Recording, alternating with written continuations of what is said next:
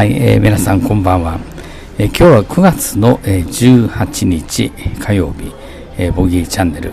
私日本の頃参議院比例第4支部支部長のボッキーテドコンでございます。とにかく暑いですね。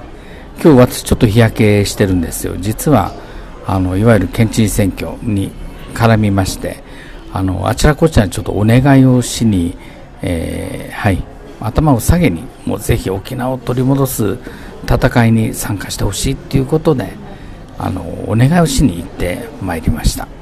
はい。あの個別訪問ではございませんよ。はい。沖縄をね取り戻す戦いに参加をしてほしいというお願いでございます。はい。簡単に私は尻尾は出ません。出たとしても、えー、隣のトトロの尻尾は皆さんえー、アニメ見て分かるように本当に短いものでございましてぴょこぴょこしか出てこないんですよね、はい、でも体験はそのまんま。昔はよくちっちゃな子供たちに「ああトトロだ」って言われることもあったんですけど最近はなんかね小さな赤ちゃんとか1歳児とか私をずっと見てるんですよ。でああいう小さなね純粋な瞳に見つめられると何かしてあげようって気持ちになるじゃないですか。そしたらね、ちょっと変顔してみたり、こうしてあの、トントントントントントンと動いたりすると、喜んでくれるんですよね。はい。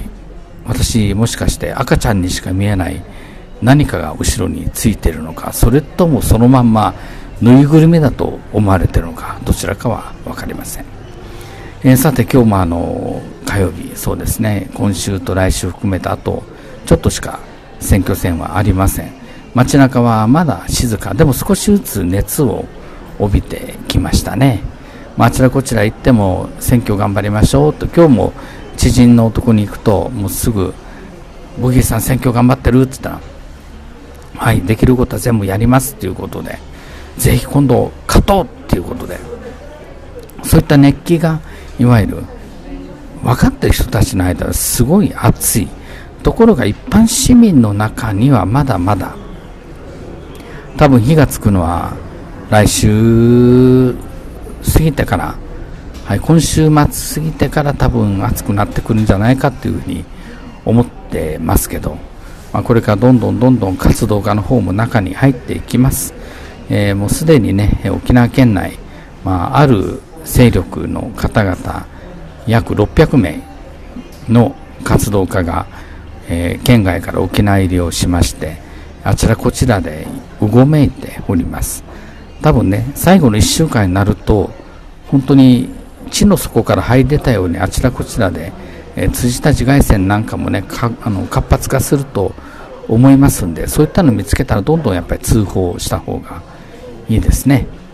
で今日も外線車10 78台とすれ違ったんじゃないですか、まあ、どちらの凱旋者も、えー、立候補している方の名前を連呼していましたけど本来公選法では1台1台ってね1台と決められてるはずなんですけどまあ確認団体なのか何なのか、えー、本来であれば候補者の、はい、名前を連呼したりポスターを貼ってちゃいけないはずなんですけど堂々とそれが走ってるっていうのはまさに嘆かわしい事態でございます。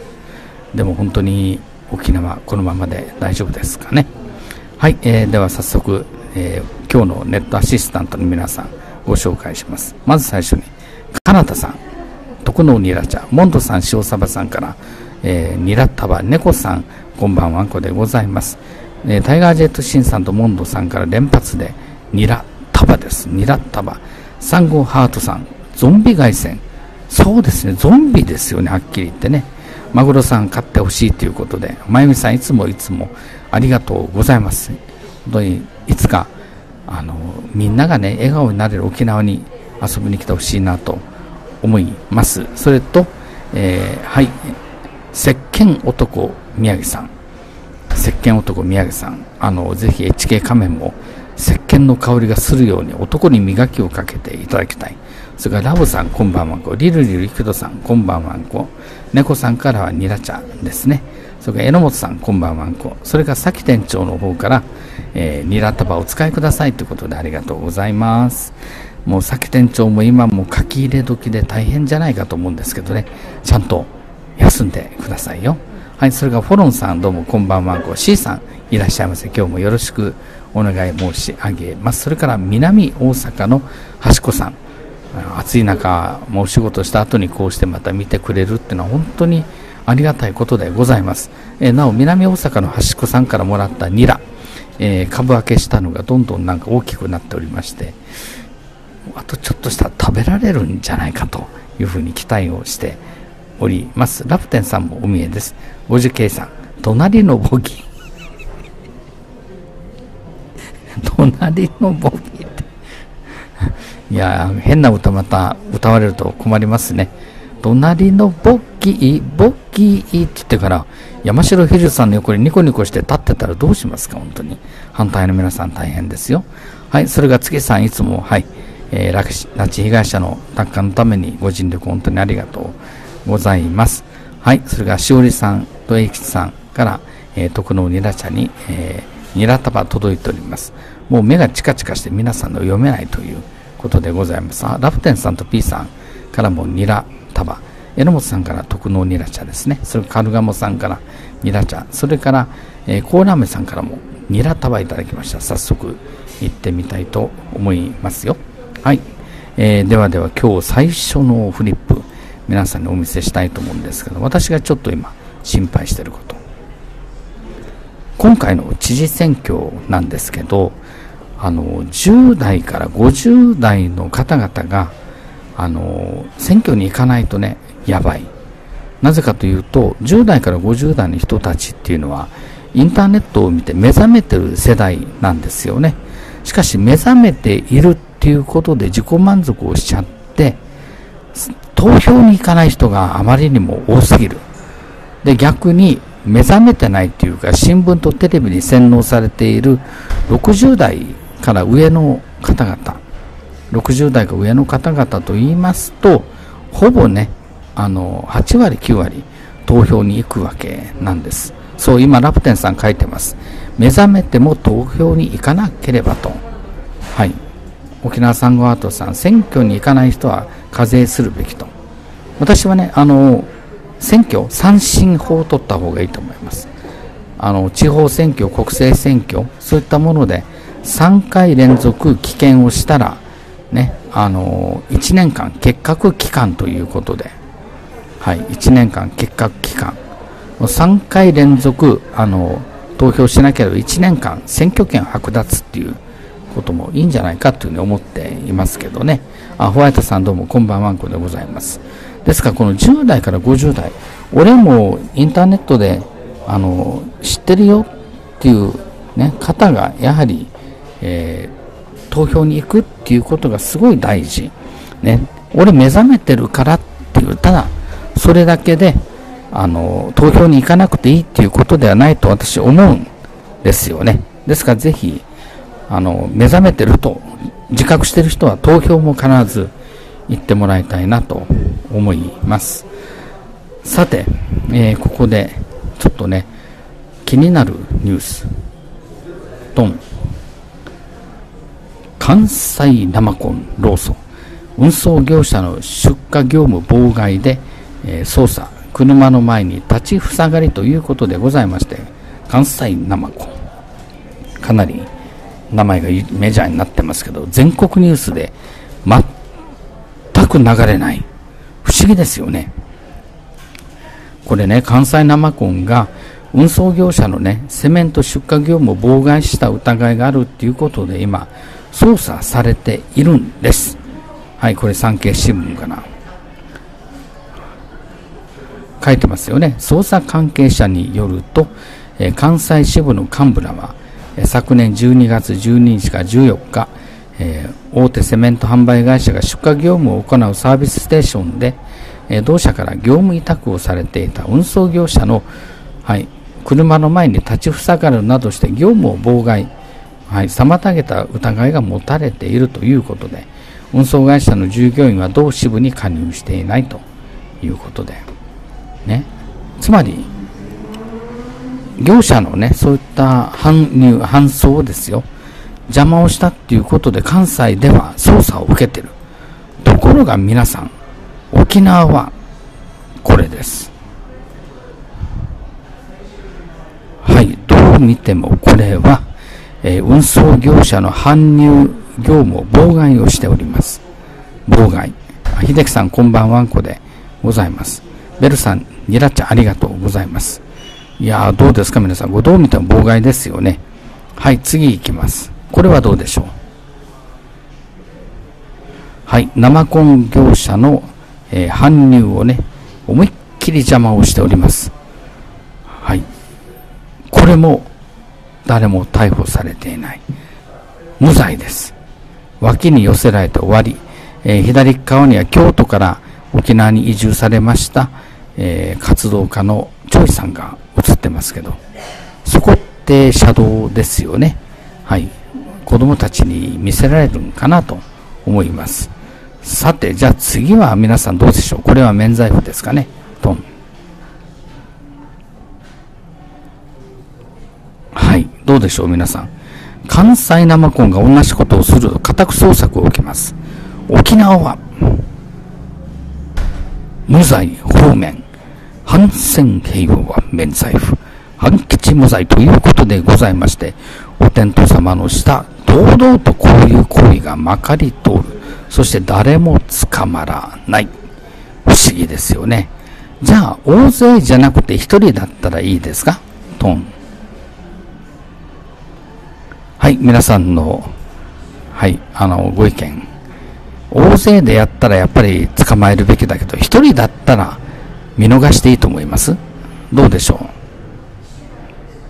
う？これ、見逃しますいや、ダメなものはダメなんです。そう、最高お父さん。ダメなものはダメなんですよ。こういったことをね、平気でやる。そして捕まらない。じゃあね、皆さん、人間がやっちゃダメだったら、車だったらいいんですか？と。はい。どうでしょう、皆さん。車だったら許されますかね？これ。車。いやー、塩サバさん58号線でこれやったらね、空き缶から何やかんみんな投げられるでしょ。普通は。これがね、無罪方面。こんなことをやっても誰も逮捕されないんですよ。だってナンバープレートついてるし、奥にある車はね、静かな空を返せって普天間爆音訴訟団の車ですよ。いやーもう本当に嘆かわしい。ね。まあでもこのニュース、産経さんが報道してます関西生コンの、はい、えー、家宅捜索のニュース、これが一つのやはり前例となってですね、あの沖縄でもビシバシと今後取り締まりをしていただきたいんですが、そのためにはやっぱり知事を変えないとダメ。最初から反対派に寄り添ってる法律をね、あの感情で破るような知事は沖縄にはいらないと思っております。さて、続きまして、えー、私が皆さんにいろんなお話をしたい中で、沖縄に県外から活動家が数百名、まあ私の入ってる情報では、現時点で600名です。600名。多分、多分ですよ。これ下手すると、今週末、土日やると、1000名近く活動家が沖縄に入ってくる可能性があります。今で600、ね、600、多分1週間に300名ずつ増えてるんじゃないかというふうに思うんですよね。300、600、900、約1000ですよね。多分1週間に300名を毎日やっぱ振り分けをしている。はい。ということは、えー、1日に40名ぐらい沖縄に入ってきてると思います。はい。いやー、すごいですよね。その資金はどっから出てきてるということで、まあ、どっかに雇われてるんじゃないですか。そして組合費払ってて、その組合費を取り戻してるだけだっていうふうに言っちゃってると私は思ったりもするんですけど、まんざら外れではないですよね。さてそういった中で本土からたくさんの活動家が入ってくることに危惧をしている人たちがいます。横山千恵さん、千恵ポンと言われている方でございます。はい、この方もナイチャーでございます。県外から沖縄に移り住んだ方でございますが、こういうことを言っております。何度でも言うけど、ナイチャーは選挙では裏方に徹してほしい。喋らないでほしいと。はい、もう一回言います。何度でも言うけど、ナイチャーは選挙では裏方に徹してほしい。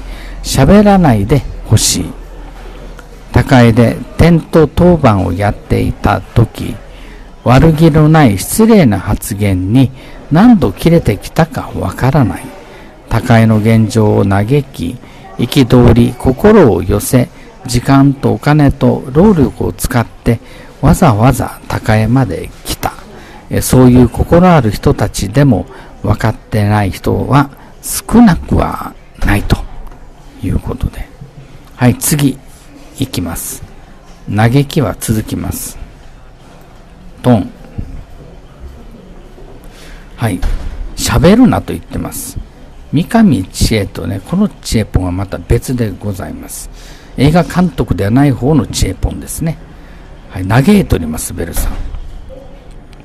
はい、大人本人たちは良かれと思って言ってくる。えー、なんて書いてあるのかな？どんな、うんえー、どんなんなら、えー、明暗だと思って言っていると。うん、明暗だと思って言ってると。高江のためを思って言っている。だけど、残念ながらそのほとんどは上から目線の大きなお世話。上から目線の大きなお世話を昨日聞いたことを言ったつもりでもうちなんちはムカついてるんだってば傷ついているんだってばといやーすごいですねで何度言えば通じるの？どうしたら分かってもらえるのと。はい。もう一回読みます。残念ながらそのほとんどは上から目線の大きなお世話でしかない。昨日聞いたこと言ったつもりでもうちなんちはムカついてるんだ。傷ついてるんだって何度言えば通じるの？どうしたら分かってもらえるのということなんですが。はい。そうですね、カルガムさん、その通りでございます。はい。そして最後にこういきます。だから私は絶対に凱旋はやらないと。はい。凱旋はしませんと。はい。そして、えー、なんて書いてます？これちょっと見えないんですけど、はい。私の方でちょっと見えないですね。なんて書いてるちょっと字が隠れちゃって見えないんだか。はい。決められたことを喋る。ウイスまでと決めている。決められたことをしゃべるウイスまでと決めているそして 今石川さんがわらわらしてますよね頼むから名護市長選はそれやって負けたんだっていい加減反省しろよといや頼むから名護市長選はそれやって負けたんだっていい加減反省しろよと。さあ皆さんどうお感じになりましたか、まあ、北海道から移住しましたチエポンさんが同じく県外から来た方々にお前ら上から目線だ。喋るな黙っておけと。頼むから。ね黙っておけと。いやテトコンさんその通り分かってるじゃないっていやでもうんサンゴアートさんでもね今に始まったことじゃないそう大げさくんなんかその象徴ですよ。大げさくんとか、あと、ニラオくんとかね。県外から来て、汚ね言葉使って地元の人間をね、上から目線で見下して、いかにも俺たちはいいことをやってるんだぞっていうようなことをやってたら、それはやっぱり嫌われますわ。ね。大げさくんなんかは前に、そういえば、あの、高江で、とんでもないことをやってましたよね。皆さん覚えてますか？大げさくん。その時の写真があるんで、ちょっとお見せしましょうね。彼が高江でやっていたことをお見せします。トン。これどう見ても大げさくんですよね。わざと絶対にね、あの、反撃してこない防衛局員と工事業者の前で、カメラの前でポーズをとって勝利宣言をしている大げさくんでございます。さあ、皆さんこれを見てどう思います？ね、本当に意味がわかんない。こんなことしてね、沖縄のためだとか、自然を守れだとか、そんなこと言ってるっていうのが私にはね、これっぽっちも理解できないんですけどね。はい、塩サバさんからゲレンの、はい、えー、お言葉いただきました。そうですね、タイガー・ジェットさん、その通り逮捕しろですよね。で、この連中、平日の昼間からこういうことをやってね、はい、こういうことをやって生活できてる。で、結構ね、高江での、えー、県外の方々の比率は高かったですよ。特に過激な動きをしてる人たちはね。とにかく、そうですね。あの、これ別な角度から映してるのもあるんですけど、はい、トン。いやー、本当に、何をしてるんですかね。カメラとかで撮ってれば相手は何もできないと思ってるんでしょう。ね。だったらこっちもカメラ向けてやっちゃえばいいのに、10個ぐらい向けてインターネットでどんどん公開すればいいんですよ。ほら、こんな県外から来た人間たちがやってますよっていうことで。はい、なんと、そうですね。ケーキさんに見えんこともないですけど、なんか似てますよね。ヒゲの部分とかも、本当に下劣。こんなことを平気でやる。まあ、そんな人たちが結局は、はい、沖縄では平和運動といってもてはやされてるんだとえー、思います。ただ彼らも今回すごいやっぱり勉強しています。ネットをね、一生懸命活用しようというそういった動きが見えるんですよ。はい、今までネットの方では彼らは不利だとやっぱ思ってたのかあまり情報発信をしてきませんでした。でも最近はどんどんどんどん情報発信もして、自分たちの都合のいいニュースは事実、ちょっとでも悪いものはデマだと言って、ね、デマだと言ってやってる。だって、安室奈美恵さんのあの、何ですか、ビラですかね。あれ完全にアウトですし、なんと選挙事務所で、ね、選挙事務所に安室奈美恵さんの写真を外向けに貼ってるそうですよ。はい、あとさっき記事見ましたけど、ええー、と思いましたよ。はい。そして、この校舎の玉木デニーさん自体がそういったコラで作られたビラをね、リツイートしてたっていうことが発覚しておりまして、いやはや、本当にこの大きさよ。あの、コピー天国のどっかの国と全く一緒で、著作権とか肖像権とか何も関係ないようでございますが、本当にこんな人たちに県政を渡したら一体どうなるんですかね？世の中はみんなコピーだらけで、はい、えー、もしかすると沖縄県だけえー、音楽の共有ソフトが立ち上がったりしてね、はい、それをあの著作権でやっぱり摘発しようとすると差別だって言って騒いだり。であと街中からはもしデニーさん買ったら毎日のようにデニーさんの歌声が流れる、はい、そして街中の大きなあのオーロラビジョンにはデニーさんのライブの映像が流れる。市役所に行くとなぜか大きなショールームの中に緑色の帽子がポツンと飾られてるというそういう社会になった。らどうしますか皆さん。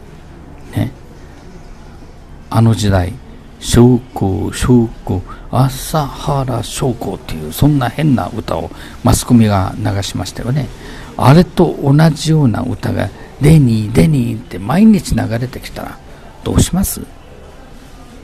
怖いですよ。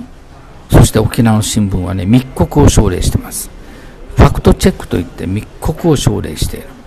自分たちの、いわゆる、はい、フェイクには、ほっかむりをして、インターネットの情報だけに、ね、フェイクに対してファクトチェックをすると、そのためにぜひ通報をしてほしいというふうに呼びかけてますけど。いやー、本当に密告です、ぴょんたさん。はい。オキスロは好きですが、オキパイは完璧秀樹さん。ナイスでございます。はい。そう、フォロンさん。もうすでに神格化されてますよね。あの、こう、お長知事、本当に不憫でならない。死してなお、ね、家すら、えー、彼らに使われる。ね。ご存命の時にはその病状に一言の心配の言葉もかけなかった人たちが、えー、亡くなって天に召さめた召された後にはそのご遺影を自分たちの主義主張のために用いそして心から嘆き悲しむかのように涙を流す。はい、で用事が済めばケロッとしてもし選挙に負けたらポイッと捨てられるんじゃないかという私は思いますけどでも本当にデニーさん買ったら県庁の中にあの緑色の帽子のショーケースが作られると思いますよ。そしてそのね、えー、ショーケースの下の碑文にはこう刻まれる。イデオロギーよりはアイデンティティと。反吉イデオロギーを前面に出している人たちがイデオロギーよりアイデンティティと日本人としてのね教授も持たない人たちが何がアイデンティティなんて私は思ったりもするんですけど、まあ、これがいわゆる沖縄最古の人たちの、ま、姿ではないですかね。まあ、しかし今沖縄左翼一生懸命保守陣営の票の切り崩しを狙っております。特に何をね切り崩そうとしてるかというとこれです。はい。いわゆる公明票。はい、公明党さんの票をね、割ろうっていうことで、一生懸命なんですよね。はい、あの、どっからか、その反基地派の公明党の人間を連れてきて、公明党は決して、あの、基地に賛成をしてない平和の党だなんて言って、党員に、いわゆる離反をね、呼びかけるようなことを、まあ、やっていますよ。まあ、でも、やはりこういったいろんなね、作戦を取ってるのは共産党と、えー、この写真と真ん中に写ってるあの方ではないですかね。はい。しかし本当に下劣。まあ、どんどんあの、皆さん、玉木デニーさん陣営が、アムロちゃん使ってるね、写真とか動画見つけたら、ぜひ送ってください。どんどんどんどんやっぱり、のけちゃいますからね。はい、それと塩沢さん、小沢さんは以前、こんな左翼ではなかったと。もうね、でも共産党と、ね、あれだけやはり自民党にいる頃に、あの、敵対をしていた共産党とね、もう枕を共にしね、あの屋根を、屋根一つ下のね、一緒に眠るようではもう終わりました。よりによって共産党。私いつもコンペイ党と言ってますけど、コンペイ党。コンペイ党と言ってたチャンネル桜にコンペイ党が届きまして、私非常に慌てた次第でございますが、でも本当に視聴者の方々って大事ですよね。まあ、いろんな面で、えー、桜も見ていただいて、このキャスも見ていただいて、いろんなやっぱり、あの、気づきをね、皆さんからやっぱりもらってるんです。ちびにさんどうも、にらったばありがとうございます。そうです。皆さんぜひ、ジェニーさん、Facebook、Twitter チェックお願いしたいと思います。でも本当に皆さんがこうしてね、あの私のやっぱり足りない部分を一生懸命あのフォローしてるおかげで私もやっぱり情報海の中で迷わずにあの走れてるんですよね本当に日頃からリアルタイムで情報収集やねあのお知らせいただきました本当にありがとうございます、まあ、こういった感じで、えー、今日もお送りしましたボギーチャンネル、えー、選挙は相変わらず52対48 52対48で今のところ変わりはありません。ですから私は総裁選が終わってね、一服したらぜひ安倍総理に沖縄に来ていただいて、離島からね、沖縄本島全部回ってそこで、えー、さんと思いっきり演説会してほしいなというふうに、あの、思ってます。ぜひ、あの、安倍総理、沖縄に来ていただきたいなと思います。ということで、今夜のボギーチャンネル、ここに行って終了させていただきます。これからまた、えー、非常に怪しげな、怪しげな仲間とね、えー、ミーティングがありますんで、そこに行ってまたこの沖縄の未来、そして沖縄で今起きていることについての考察などをね、いろいろお聞きをして、また改めて皆さんにお知らせできればなと思っております。ということで、今夜の放送、これにて終了させていただきます。皆様最後までありがとうございました。はい、ちびぬさん、はいれうさぎさん、ありがとうございました。ではまた明日お会いしましょう。ごきげんよう。